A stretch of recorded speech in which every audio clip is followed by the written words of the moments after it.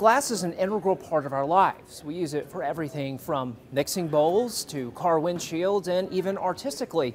Most of those are made in factories or in art studios, but did you know it can be made naturally as well? When lightning meets sand, we get glass. It's called fulgurite.